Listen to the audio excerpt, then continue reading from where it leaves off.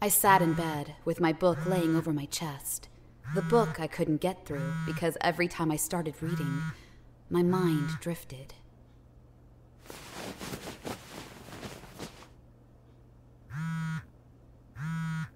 To make matters worse, Val wouldn't stop calling. Couldn't he take the hint?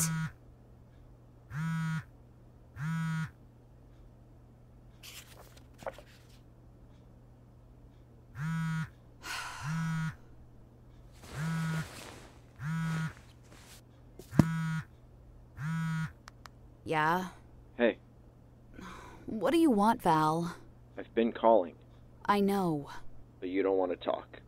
I've mentioned that a few times. It's been months. It's been six weeks. Seven weeks. It's midnight. Have you been drinking? No, no, I haven't. Okay. You don't believe me? I didn't say that. I'm calling because I miss talking to you. We've talked in those seven weeks. I want to see you. When can I see you? I don't know. When are you coming home? I don't know. Okay. It hurt to talk to him. I was still so angry, so upset. So how's Ricky? What? How's Ricky? I heard you've been talking to him. Seeing him. I. Oh, I talk to him from time to time. He checks up on me. You were talking to him too. I was, yeah. Not so much anymore. Heard you guys went to dinner. Did you? Once. Just once? Just once. You're a terrible liar, Delilah. He's someone to talk to. Just talk. Just talk. And that's the truth. Right. Is there anything else, Val? No. No.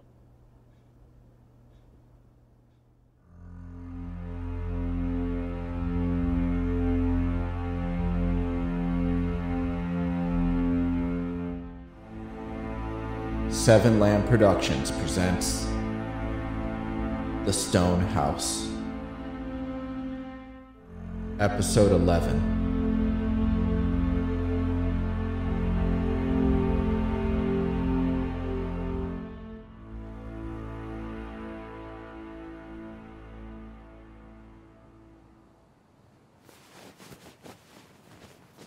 That night, once again, I couldn't sleep. After Gavin's outburst, I stayed in my room until him and Noah went to bed. Now it was late. I kept tossing and turning, thinking of the figure on the lighthouse. Was it real? Did I actually see someone? I sat up, staring at all the new toys in my room. Where did this stuff come from? And why was he decorating with his, I'm assuming, wife's stuff? I was trying to piece everything together. He wanted to make my room more comfortable. Why?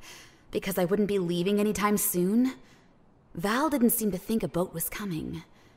And now, neither did I. My heart sank at the thought of Val. All these new clothes, the new shelves.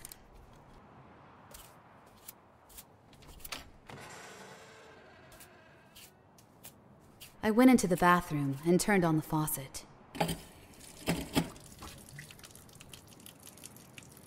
I splashed some water on my face, noticing the bags under my eyes. The moonlight came in through my bedroom's window across the hall and bounced off the mirror. I looked so exhausted. You are, Dee. You are. I cupped some water and drank. It was so cold, it made me want to climb back under the blankets.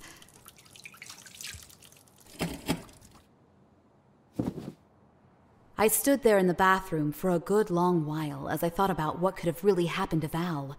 Gavin had a temper, and Val did too. Did something happen between them?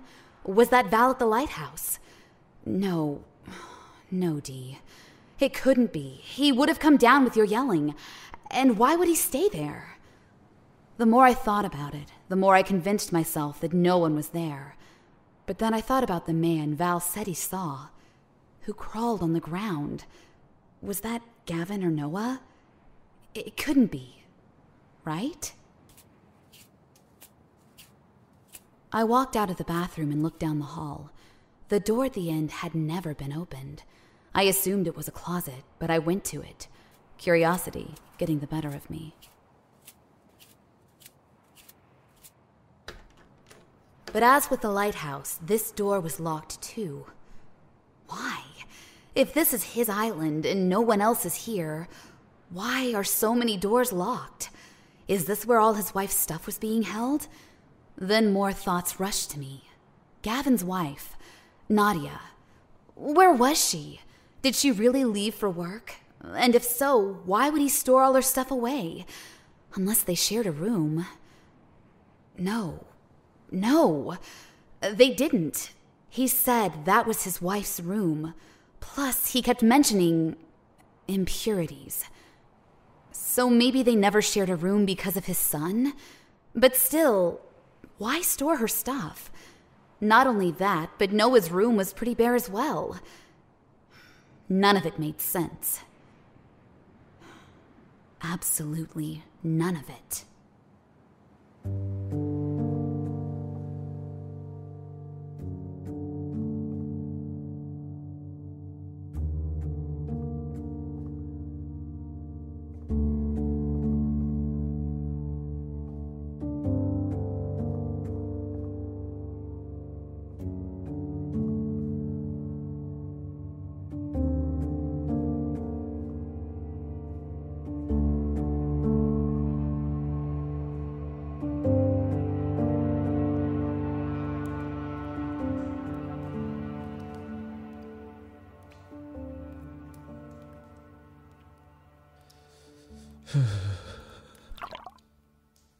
My leg was still very much in pain, but I had been able to move myself to the pool.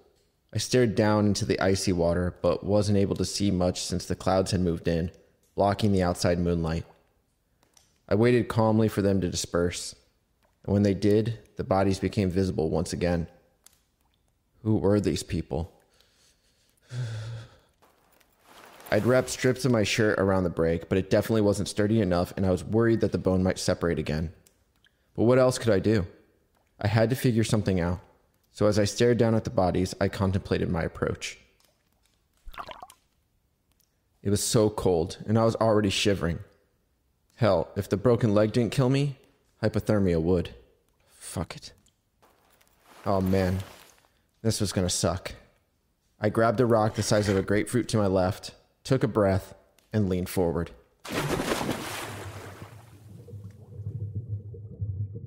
I sank to the bottom of the icy pool, the water stinging my body.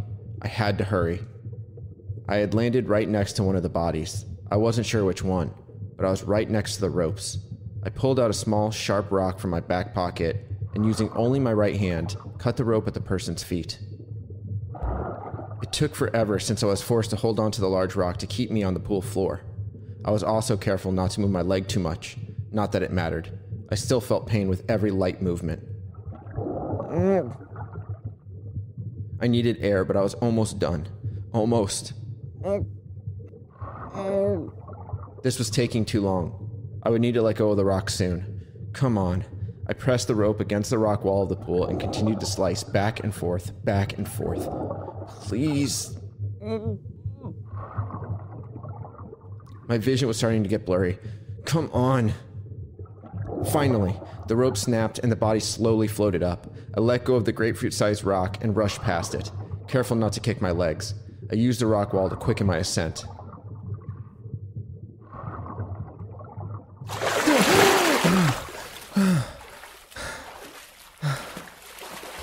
Jesus. Damn, that wasn't easy. Eventually, the body came up to the surface, bobbing right next to me, face down. It was the female, the taller one. The bloated, waxy skin rubbed against me. God damn it. I pushed it away. Okay. One down. Three to go.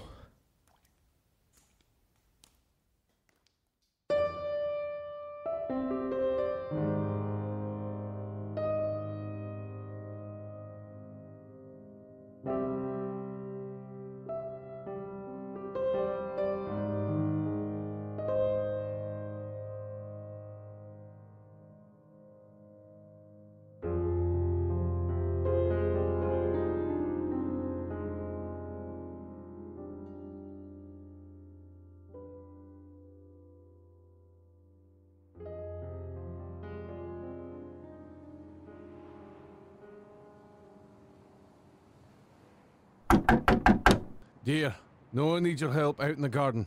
I hadn't left my room all morning, and I could tell it was bothering Gavin. Dear, you need to come out. I was surprised he didn't barge in yet. Dear! Uh, what? I opened the door to see him standing there, covered in dirt and sweat. Enough sulking. The boy needs your help. I'm not sulking. I'm tired. You haven't been sleeping well. Is that really a shock? Noah needs your help. You've said that. Why? Why? Haven't you been helping him? I need to tend to the coops. They haven't been cleaned in some time. Okay. You don't want to look after me son? Can't he come inside? I don't know much about city life or where you're from, but here we work. Constant work. Much upkeep. There's too much to do than just sit around and let the day pass wallowing about something you can't even fix. He pushed his way in and sat on my bed. Do you understand, dear? I wanted to go for a walk soon. He rubbed his temples and grimaced. A walk. A walk. Always with a walk. I need to clear my head. Haven't you cleared it yet? No, I haven't. He ran his hand through his thinning black hair and looked about the room, as if taking in all the new decorations for the first time. I don't understand. You don't understand what? Look at your room. This weren't easy. But we made it nice, don't you think? The plant, the plant was Noah's idea. Don't you like it? I don't get why it's here. I don't get why any of this is here. I motioned to the clothes, the shelf, the knickknacks. You don't like it. I just need to go for another walk. You see, we need work done here. Noah puts in his time for the family. Why can't you? Gavin, I'm not a part of this family. he rubbed his chin as he stared at the floor beneath him. No. No, no, no. That ain't right. No, just ain't right. You are. You are. What? You are. You are. You are a part of this family. What? You are. Now. We stared at each other for a long time. I didn't know what to say to that. What the fuck was he talking about? And you ain't going for no more walks. What? I followed Gavin out of the room and into the living room. Excuse me, what did you just say? I said you ain't going for no more walks. Well, that's not really up to you, is it? Dear, we won't speak another word of this. I'll do what I want. You'll stay by my house. That's where you're needed, and that's where you'll stay. Bullshit! His whole body tensed. Then he charged. he grabbed my face with one hand and my side with the other. He slammed me against the wall, right next to the fireplace. Several photos fluttered to the ground around us. His large hand covered my mouth, and this was the first time I was genuinely scared for my life. Stop. Stop moving. Stop! I froze, our eyes locked. I told you, I won't have that language, you hear me? He was too strong. I was pinned. You hear me? I nodded. I could feel a tear sliding down my cheek. I. He held me for a moment longer before slowly loosening his grip. I slid down to the floor, a crumpled mess. I fought with all my strength to keep from breaking.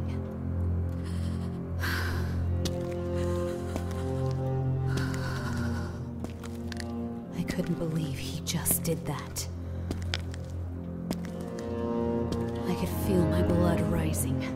Not only was I scared, but I was angry. As he headed for his room, I slowly got up, using the wall to keep steady. And just before he turned the corner, I blurted out, Who else is on this island? What? Who else is on this island? I saw someone at the lighthouse, and Val saw someone before we reached your house. You didn't see anyone. I did. I'm not sure why I was egging him on, especially after what just happened. But I was so angry now. I did see someone, and so did Val. You didn't, and neither did Val. I can assure you of that, dear. Gavin turned and left the room.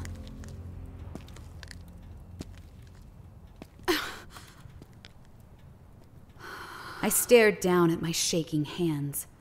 On the floor, several pictures, which a moment ago clung to the wall. I bent down and picked one up. It was of Noah and another girl. Was this a relative or friend? I then went to the wall and looked at the other photos. Only one showed Gavin. The one with the woman with the mole to the right of her nose. Nadia, I presumed. The only photo that was bent and worn. But why?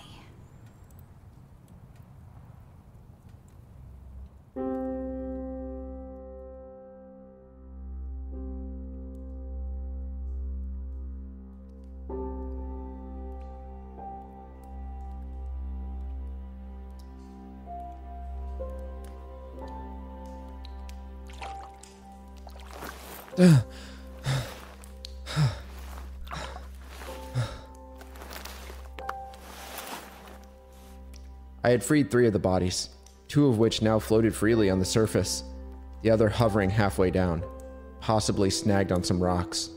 One male and two females. There was one body left, but I was exhausted, my body sore. My broken leg throbbed.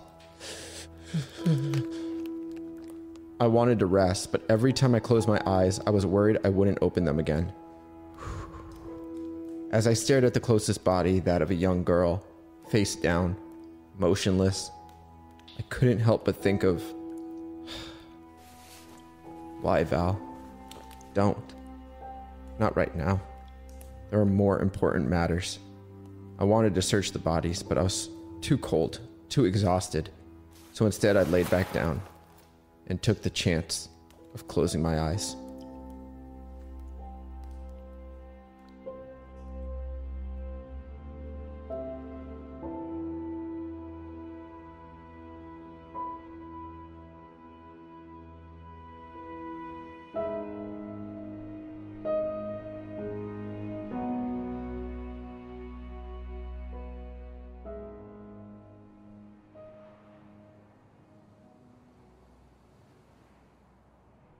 I ended up helping Noah in the garden like Gavin wanted. He had put a fear in me that I wasn't ready for. I thought about trying to talk to Noah again, but he wouldn't engage, like usual.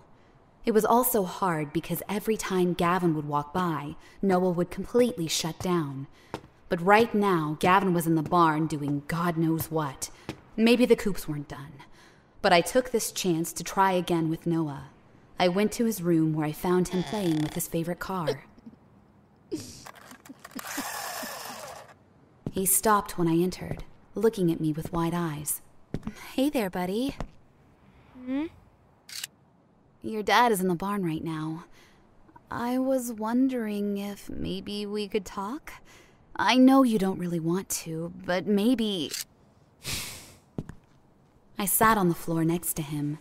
I wasn't sure how exactly to go about this, but I brought something with me that could possibly help. Look, Noah. These fell off the wall earlier, and I was wondering if you could help me put these back up. Mm. But I was also wondering if you could tell me who this was? I held up the picture with him and the young girl with straight brown hair and dimple on her chin, but all he did was turn away. No? Okay. What about this one? It was of Gavin and the woman with the mole by her nose. I assumed it was his mother, but again, he turned away. No? Please, Noah? I'm interested. What about this one? I showed him the same picture where he stood with a man, woman, and the same girl with brown hair and dimple. Is this your uncle? Cousin? But again, he shut down. He stared at the floor. Your dad's not around. You can talk to me. How come there are no pictures of you and your dad? I looked up with saddened eyes. That's why you don't talk, huh? Your dad has a temper, doesn't he? yeah, I know he does. Please, Noah. I need to find out what's going on. I'm so confused. Can you please help me? Who are these people? Can't you tell me? Don't you want to talk to me? I rubbed my eyes and ran my hands through my hair. I was so frustrated. The way Gavin attacked me and the fact that his son won't talk made it obvious that he was abusive. Does your dad hit you, Noah? You can tell me. You can. Does he hit you? Mm-mm. But he shook his head no. He doesn't? I was honestly shocked. Your dad has never hit you, Noah? But again, he shook his head. hmm. Okay. I stood and made my way back into the living room. I looked at the rest of the pictures on the wall, trying to make sense of everything.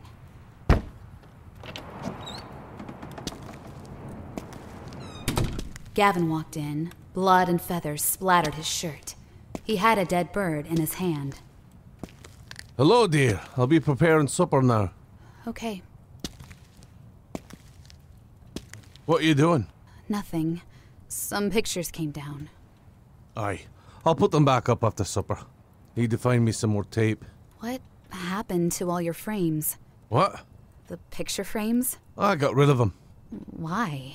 What? Why would you get rid of the frames? They were old, nasty. Nadia didn't like them either. Now let me be. I'm gonna cook.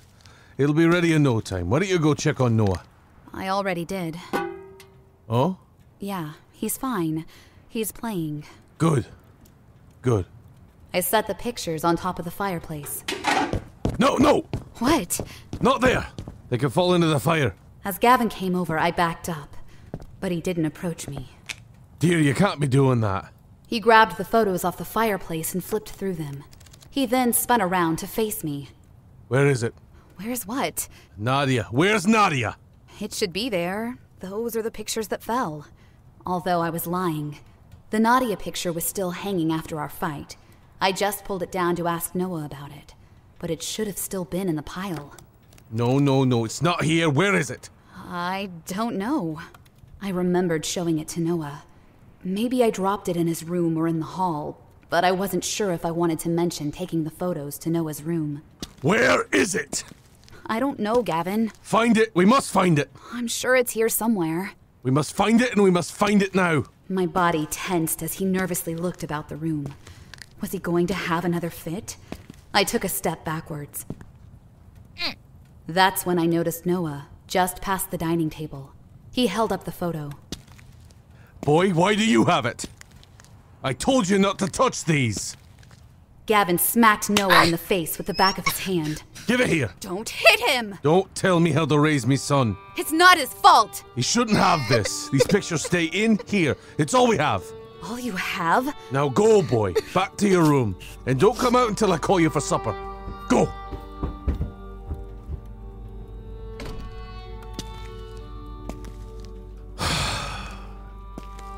You too. What? Go to your room. I've had enough. I'm not a child. I didn't say a word, dear. But I've had enough and I need to get supper ready. He stared down at the photos as he talked. Go. Now. And don't come out till I call you. I'm checking on Noah. But he grabbed my arm and pulled me back. My heart started beating rapidly. You won't check on the boy, because the boy don't need checking on. Now go to your room before I lose me temper a second time today. His grip relaxed and eventually he released me. I took a couple steps back, our eyes remaining locked. And dear, don't touch the photos no more. Nadia didn't fall earlier. You took her down. What? Uh, uh, no, I. I didn't. You're a terrible liar, Delilah. You did. You took her down. He caressed the photo before looking back at me and smiling his crooked smile. Now go. I'll call you when supper's ready. I didn't know what to do or say. So instead, I just slowly went back to my room.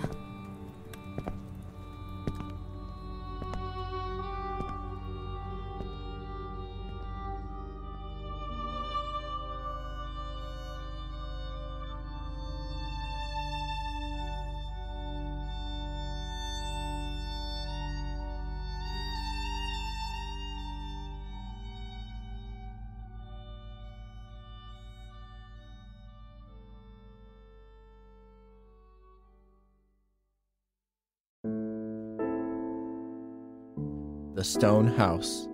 Written and edited by Robert M. Lamb. Starring Corey Pettit as Delilah, Robert M. Lamb as Val, Jack Austin as Gavin. Co starring Dennis Caldwell. Music provided by Kevin MacLeod of Incompetech.com. If you enjoy this podcast, don't forget to rate and review. Visit 7lamb.com for more podcasts such as this.